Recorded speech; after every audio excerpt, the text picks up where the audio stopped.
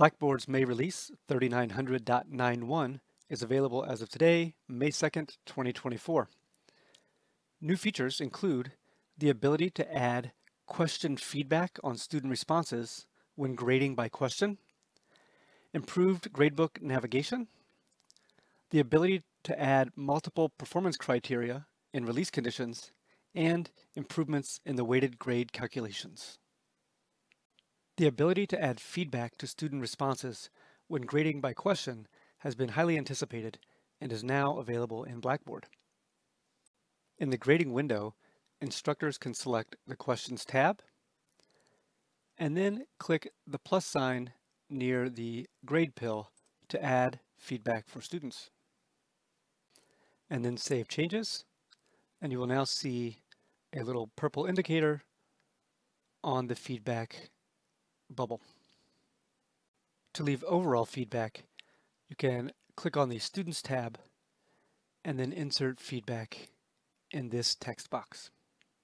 Students can view the feedback by clicking View Submission and they will find the feedback under each question. The May release also features changes to how instructors navigate between the different gradebook views. Prior to this release, the second toolbar at the top of the gradebook view featured two icons to select between list view and grid view. Now you will have the option to choose gradable items, which is a list of the gradable items in the course, grades, which is the grid view, and students, which is a list of students. You can click on an individual student and then see their individual submissions or assignments. Instructors will now have the ability to set multiple performance criteria for release conditions. To do so, select Release Conditions then check the box next to Performance. Choose a gradable item and select the required score. To add additional performance criteria, click the plus sign, choose the next item, and choose the required score. When finished, click Save. Students will now have to complete both of those assessments, receiving the required score, in order to access this assessment. Lastly, instructors that use weighted grade calculations now have the ability to weight grades proportionally or equally within a category. Prior to this release, weighted items in a category had proportional weights. To view or change this setting, go to the Gradebook tab and then click Settings. Scroll down and click Manage Overall Grade Settings and make sure you have the weighted category selected.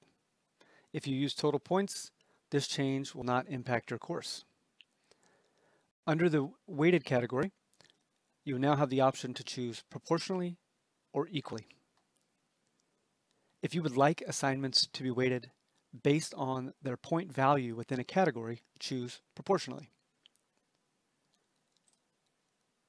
In this example, this rubric's performance assignment is worth 20% of the grade, while the other three assignments are worth 10. This is based on the point value of this assignment being double the point value of the other assignments. If you prefer to equally weight, select equally. And you will now see that each item in this category will be worth 12.5% of the category grade, regardless of the point value of each individual assignment. Again, if you use total points or an advanced setting, this change will not impact your course or your gradebook. If you have questions about any of these new features, or if you need support with your Blackboard course, please reach out to Seidel at citl, C-I-T-L, at niu.edu.